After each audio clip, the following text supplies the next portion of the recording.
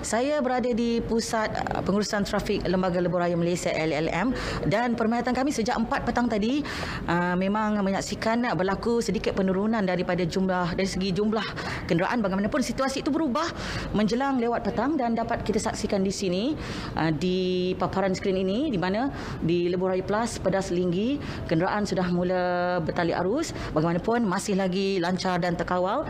Begitu juga di Lebuh Raya Sungkai. Bagaimanapun Uh, situasi di sini kita dapat saksikan deretan kenderaan uh, mula memasuki lebuh raya dan dilaporkan sehingga 16 km uh, jaraknya.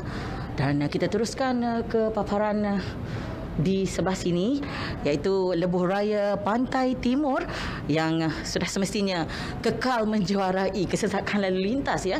Dan dapat kita saksikan di Lebuh Raya di Plaza Tol Gombak kenderaan juga masih bertali arus.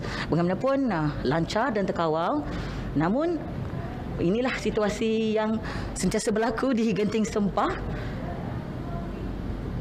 Berlaku uh, peningkatan kenderaan dari semasa ke semasa dan bagaimanapun untuk perkembangan yang lebih terperinci dan lebih jelas mengenai situasi semasa uh, lebuh raya lebuh raya utama uh, di seluruh negara kita bersama dengan uh, penolong pengarah kanan lembaga lebuh raya Malaysia Encik Muhammad Ikram Azras untuk berkongsikan perkembangan terkini.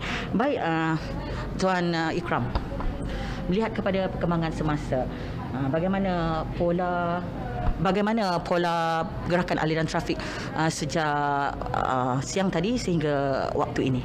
Baik, terima kasih. Untuk uh, makluman semua, um, uh, pola trafik uh, seperti mana jangkaan kami bermula daripada tengah malam tadi hingga ke lewat petang tadi, didapati berlaku peningkatan trafik uh, di beberapa laluan utama lebuh raya ke arah selatan dan juga ke pantai timur Semenanjung, di mana beberapa lokasi telah dikenal pasti berlaku kesesakan luar biasa, iaitu di kawasan Slim River hingga ke Tapah dan juga daripada Plaza Tol uh, Gombak hingga ke Plaza Tol Bentong di uh, KL Karak. Walaupun uh, laluan ke arah selatan didapati tiada berlaku kesesakan luar biasa kecuali kesesakan biasa disebabkan uh, beberapa kemalangan kecil uh, dan juga cuaca hujan yang berlaku uh, lewat petang tadi dan juga tengah hari tadi.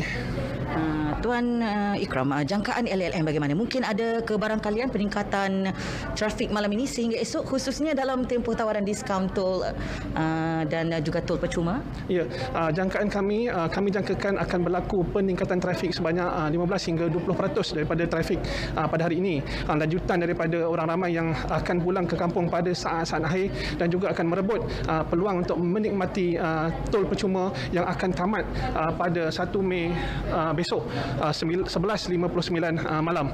Oleh itu saya nasihatkan supaya uh, semua pengguna berhati-hati dan juga memandu secara berhemah dan bertimbang rasa di lebuh raya. Baik, terima kasih Tuan Ikram. Itu saja yang dapat kami kongsikan dari Pusat Pengurusan Trafik LLM dan saya Nurul Asma Jaharun dan juga kru Hafiz Fauzi dan Hamizan ingin mengucapkan selamat berhati-hati, selamat sampai ke destinasi, patuhi had laju dan pandu berhati-hati dan jadilah pemandu yang berhemah. Salam Aidilfitri. Kembali kepada Andina Hazel di Angkasa Puri.